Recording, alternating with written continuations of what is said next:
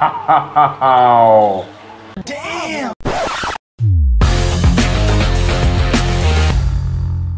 Halo Rek, Assalamualaikum warahmatullahi wabarakatuh. Bertemu lagi dengan saya di sini Tak Lonjong, salam lonjong. Ya, ya, ya, ya, ya.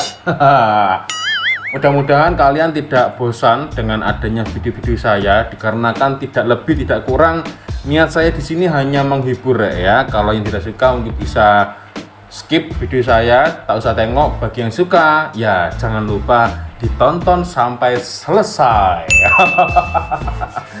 Oke. Oke, Rek, langsung saja ke topik pembahasan ya. Jika kawan-kawan mengikuti video saya yang sebelumnya ya, saya pernah mereaction Petronas ya mensponsori MotoGP ya. Petronas Rek, ya, bukan Pertamina, Petronas. Aduh, Pertamina Bilar ya, jadi sponsor utama. Tapi tahu tak Rek ya, ketika saya mereaction video tersebut ya, ketika saya dalam proses editing terlintas di pikiran saya ya, apakah Petronas ini hanya mensponsori MotoGP atau mungkin lebih dari ini? Nah, saya agak eh, ingin tahu ya, penasaran ingin tahu apakah hanya sekelas MotoGP atau ada lagi. Ternyata tidak hanya MotoGP Rek, ya, Formula 1 atau Formula One itu juga Petronas ikut andil dalam sponsor sponsorship ya, sponsorship atau sponsor uh, official ya. Wow. Jadi peran Petronas di sini sangat-sangat besar dan terus terang jujur saya juga baru tahu ini rek. Dan akhirnya saya penasaran dong ya, penasaran itu ingin tahu ya, sangat-sangat ingin tahu ya. Apakah kira-kira Petronas ini hanya mengambil atau memegang andil dalam official MotoGP? Atau mungkin ada lagi event-event yang lain yang mendunia yang internasional? Dan jawabannya ternyata ada re ada. Wow. Saya baru tahu ya karena rasa penasaran saya rasa ingin tahu saya saya kulik-kulik ya saya kulik-kulik uh, saya berusaha searching ya searching di Google di YouTube ya ternyata ketemu re tidak hanya di MotoGP ternyata Petronas juga ikut andil yang cukup besar di dalam Formula One atau Formula 1 lah ya. Wow, luar biasa. Sejarahnya bagaimana ini sejarahnya ya? Oke, tanpa berlama-lama, Rek ya, langsung saja kita akan simak videonya seperti apa dan untuk kawan-kawan yang belum sholat saya mengingatkan jangan lupa sholat dulu. Oke Rek, seperti yang kalian tengok dekat layar kalian masing-masing ya, ada Nazirul Lasminul 7. Sepertinya dia juga pernah meminta saya mereaction Zack ya. Uh, Zack versi Melayu ya dan kali ini dia ingin saya mereaction oke okay. Iya iya iya iya iya. Jadi uh, ada kereta ya. Kereta balap dan setelah saya buka ini instagramnya nah ini dia. Mercedes MGF1 wow. Petronas tertulis ya. Tertulis di belakang spoiler balap mobil ya atau kereta balap.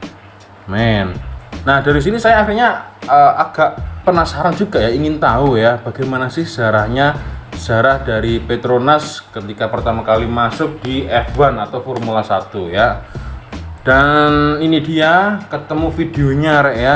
Videonya ini saya kutip dari ML Studios. Oke sejarah Petronas dalam Formula One. Oke kita akan simak sama-sama Rek.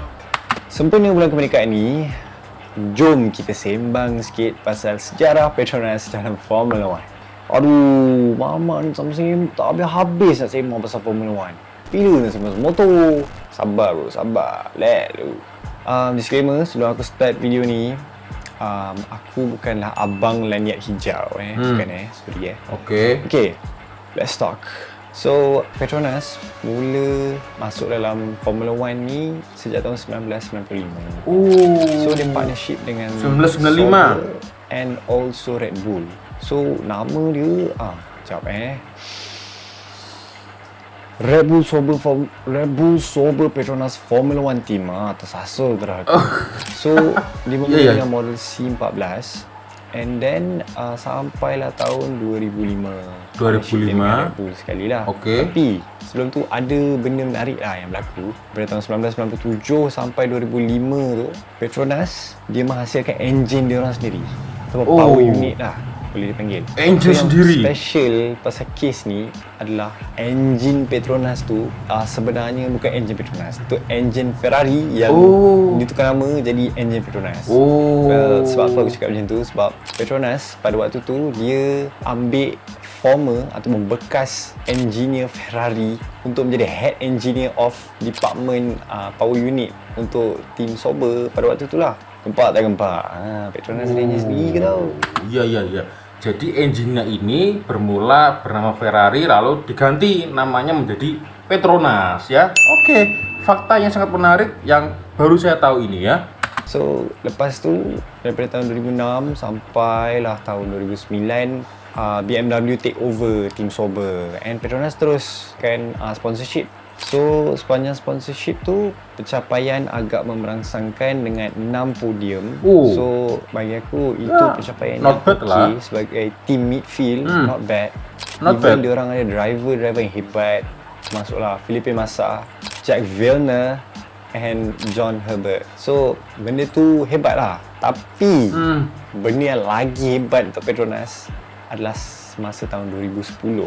2010? Ah, time tu 2009 ada Braun GP kalau korang tahu. Uh, team Braun GP tu dia survive untuk satu season je. And then pada tahun 2010 Mercedes take over Braun GP. So Petronas Wow. pun beralih. Dia sponsor Mercedes. Dan Okey. benda tu adalah salah satu sejarah paling gempak lah aku rasa. And buat pengetahuan korang semua, Petronas bukan semata-mata sponsor saja. Hmm. Diorang juga supply minyak dan Wow. lubricant atau pelincir Supply minyak ya? F1 yang dia sponsor selama ni daripada Sauber Ya, ya, ya. sampailah Mercedes um, sebelum aku akhirkan ada satu persoalan yang aku nak tinggalkan boleh ke Petronas nak kekal dalam Formula 1 dengan keadaan ekonomi sekarang dan Hmm. sekarang pun Petronas dalam kontrak dia dengan tim Mercedes Hmm. cuma sampai musim kali ni je sampai Oh, 2020 je sampai 2020? dan masa depan Petronas dalam Formula 1 yes itu satu perkara yang menarik. Dan ada ura-ura yang mengatakan lagi yang Mercedes akan keluar Formula 1 Oh. soon. Mungkin bukan tahun depan tapi lagi 2 tahun siapa tahu. Sebab team Formula E Mercedes pun not bad and sebab Mercedes pun nak go green. So kita tak tahu masa depan Petronas especially dalam Formula 1 thanks for watching guys. Iya iya iya iya iya iya. Jadi eh Mercedes ya, Mercedes bukan Mercedes Benz ya, tapi Mercedes ya eh, dikabarkan akan tapi bukan 2020 ya. Dua, antara 2022 atau 2021 maybe maybe ya tetapi eh, setelah saya tengok ya di official Instagram Mercedes MGF1 ya eh, plakat eh plakat. tulisan ya tulisan di belakang kereta balap spoiler. Tulisan Petronas ini masih ada ya. Tuh.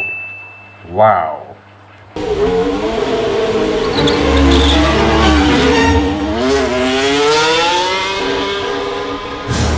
Wow.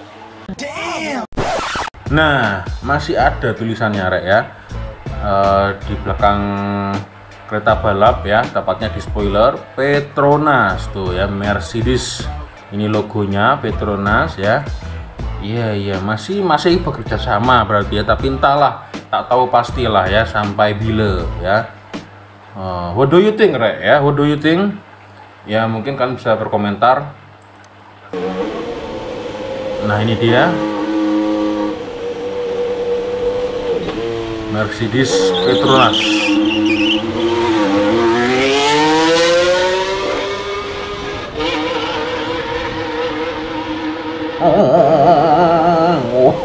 Oh, iya iya iya iya iya.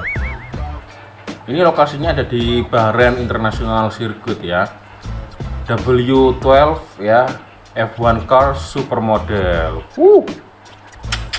Hmm, hmm, hmm, iya iya, yang jelas eh, tak boleh dibuat dekat jalanan ya apalagi jalan raya ini tak boleh.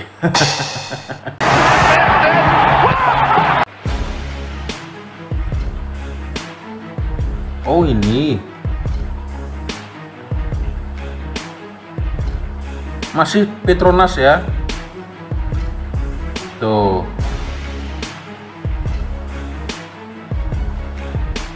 Nah logo Petronas masih ada di tengah-tengah tadi ya Uh. Nah, IMG Petronas Formula One Team ya. Tuh. Wah, saya baru tahu loh, Rek ya. Luar biasa nih Petronas nih. Mantap. Track record keterlibatan Petronas ini ya dalam kancah dunia perbalapan atau dunia racing ya baik itu kereta atau sepeda motor ya motor balap ternyata ya sudah sangat lama ya. Men luar biasa. Tidak hanya MotoGP tetapi Formula One juga re amazing amazing re luar biasa. Ya ya luar biasa. Tidak hanya menjadi sponsorship tetapi penyuplai minyak juga ya. Wow. Dan berbicara tentang Petronas ya, baru-baru ini kabar terbaru Petronas menemukan sumber minyak. Nah, sumber minyak di selat dekat Pulau Madura ya atau dekat lautan Pulau Madura ya. Dan itu artinya pihak Petronas bekerjasama dengan Indonesia ya. Artinya seperti itu. Ya, kita akan tunggu kabar selanjutnya seperti apa ya. Uh, semakin erat gini ya. Malaysia Indonesia semakin mm, mm, erat ya. Ya karena itu tadi ya. Banyak kerjasama ya